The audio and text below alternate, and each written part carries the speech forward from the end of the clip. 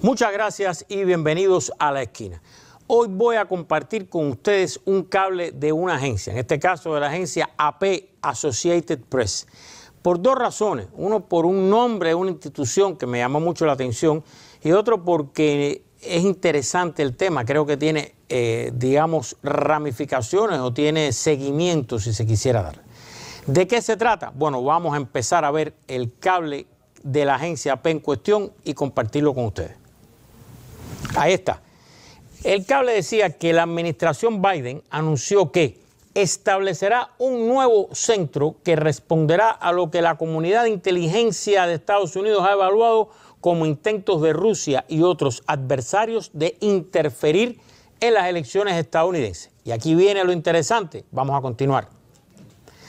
El centro, vean el nombre, Centro de Influencia Maligna Extranjera, estará ubicado en la oficina del Director Nacional de Inteligencia que coordina el intercambio de información entre las agencias de espionaje de los Estados Unidos.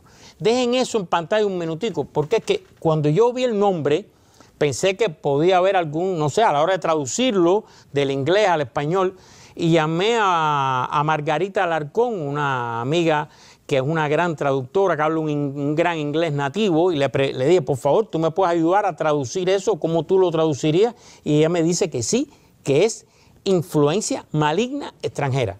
Me llamó mucho la atención un centro que se llama así, Influencia Maligna Extranjera.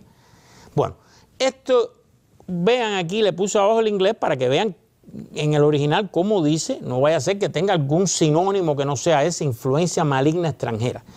Esta oficina que ven ahí, del Director Nacional de Inteligencia, es una oficina que se creó después del 11 de septiembre a la que tributan, coordina o le pide información a todas las agencias de la comunidad de inteligencia de Estados Unidos, a la CIA, a la Agencia Nacional de Seguridad, al FBI, a todo el mundo que tenga información de inteligencia, le tributa, coordina, o sea, ahí va a parar todo. Esa oficina nueva, repito, el Centro de Influencia Maligna Extranjera va a estar directamente subordinado a esta oficina. Continuamos. En un comunicado, la oficina del director nacional de inteligencia, en este caso es una señora, dijo que el centro, escuchen bien, se centrará en coordinar e integrar la inteligencia relacionada con la influencia maligna, reuniendo experiencias relevantes y diversas para comprender y monitorear mejor el desafío. Continuamos. Y aquí está la señora April Haynes, que es la actual directora de Inteligencia Nacional de Estados Unidos, que dijo ella personalmente lo siguiente sobre esta oficina. La influencia maligna extranjera era un reto, o sea, es un reto duradero que enfrenta nuestro país. Estos esfuerzos de los adversarios estadounidenses buscan exacerbar las divisiones y socavar la confianza en nuestras instituciones democráticas. Eso dijo ella refiriéndose al concepto este de influencia maligna. Continuamos. Testificó también en el Congreso, y lo dice el cable de la P, que su oficina seguiría adelante con la creación de este centro, el Centro de Influencia Maligna, de Control de Influencia Maligna extranjera. Continuamos. La oficina de la Directora Nacional de Inteligencia dijo que no había una fecha oficial de inicio para el centro y que la oficina estaba trabajando con inteligencia y otros socios para identificar recursos y formas de cooperar. Ahora bien, vamos a parar ahí un minutico. Precisamente en el cable de la AP, le voy a poner a, constitución, a continuación, y un poco quizás para aclarar de qué están hablando cuando se habla de influencia maligna extranjera, en este caso, eh, introdujo otro elemento. En el mismo despacho de la P ponen otro elemento que lo vamos a ver a continuación. No es una declaración de la señora April Haynes, no es un comunicado de la oficina de la Directora Nacional de Inteligencia, pero tiene que ver con eso. Vamos a verlo. Una evaluación desclasificada y publicada en marzo encontró que y aquí tienen tres ejemplos de lo que ellos consideran influencia maligna extranjera. El presidente ruso Vladimir Putin autorizó operaciones de influencia destinadas a ayudar a Trump el año pasado. Esa es la primera. La segunda, Irán trató de sembrar dudas sobre la legitimidad de los resultados de las elecciones. Y la tercera es que China consideró, pero no desplegó, operaciones de influencia según la evaluación. Vamos a dejar esto en pantalla un minutico e ir uno a uno. En el primer caso, tanto el presidente Putin como el gobierno ruso y sus autoridades han negado que ellos hayan hecho ningún tipo de operación para ayudar a Trump, ni influir, ni mucho menos. Lo han negado. En Estados Unidos se han presentado en la prensa eh, algunas evidencias sobre esta acusación, pero las que yo he visto, a lo mejor hay otras que yo no conozco, pero las que yo he visto, todas tienen que ver con redes sociales, Facebook, identidades falsas, multiplicación de mensajes a personas en redes sociales, distribución de información falsa que afectaba a, los demócratas y en especial a Biden en redes sociales. O sea que todo lo que he visto ha sido de acciones de distinto tipo, con distintas tecnologías en redes sociales, que es lo que se llamaría, en este caso, una influencia maligna extranjera, ¿no? En este caso.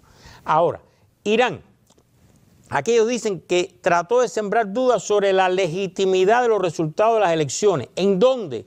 Nuevamente, medios de comunicación, redes sociales, medios digitales iraníes que en artículos, en cosas, cuestionaban, atacaron, eh, eh, analizaron las elecciones en Estados Unidos. Y finalmente, lo más interesante, el caso de China ellos reconocen que China consideró, o sea, ellos tienen información de que China lo analizó, lo pensó hacer, pero no desplegó, no lo llegó a hacer operaciones de influencia según esta evaluación desclasificada. O sea, volvemos a la esencia. Se trata de acciones, operaciones, eh, maquinaria, tecnología. Eh, repito, acciones que todas se desarrollan en Internet redes sociales, Facebook, etcétera, etcétera. Todo esto que estamos hablando aquí, por lo menos lo que se ha dicho, lo que se ha publicado. Ya operaciones de hackeo de otro tipo no fueron en elecciones o fueron, pero eso es otra parte. Pero por lo menos lo que se ha dicho aquí con relación a influencia maligna extranjera. Vuelvo atrás y a lo que dijo la propia directora April Haynes. Ella dijo, y voy a, de lo que vieron ustedes ahí, lo busco aquí un minutico, que esto, que son, buscan exacerbar divisiones, ahí está, dicen que la, influencia maligna son acciones que buscan exacerbar divisiones y socavar la confianza en nuestras instituciones democráticas, en este caso. Bien, de eso se trata. Lo primero es el nombre de esta oficina, de este centro, centro de influencia maligna. Esta palabra maligna me sigue, bueno, puede ser que sea muy normal, Mm, a mí me llamó la atención maligna. Y lo segundo, y es con lo que quiero terminar, me gustaría terminar haciéndole una pregunta o compartiendo una pregunta que me surgió a mí con ustedes.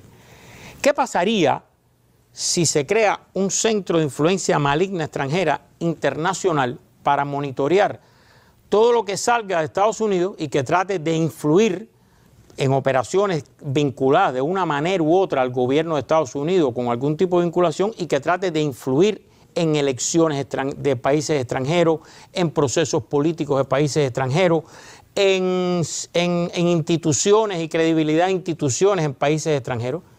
¿Ustedes creen que se detectaría que de Estados Unidos sale influencia maligna extranjera dedicada, cito, a exacerbar divisiones y socavar confianza en instituciones de otros países o no?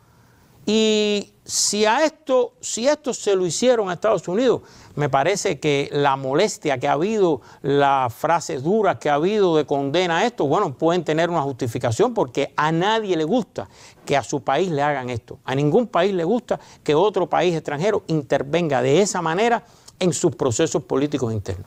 Pero si se creara un centro de influencia maligna extranjera internacional, encontraría que pasa también a la inversa, que salen de Estados Unidos, influencia maligna extranjera, de acuerdo al concepto que dieron aquí, hacia otros países o no? ¿Qué ustedes creen? ¿Es justo que pase? ¿Es correcto? ¿Se debe hacer? ¿No se debe hacer?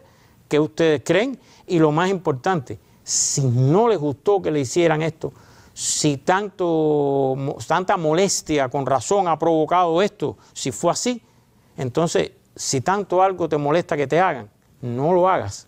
Porque mira qué pasa cuando te lo hacen, si de verdad se lo hicieron. Hasta aquí la esquina, termino y regreso a la mesa.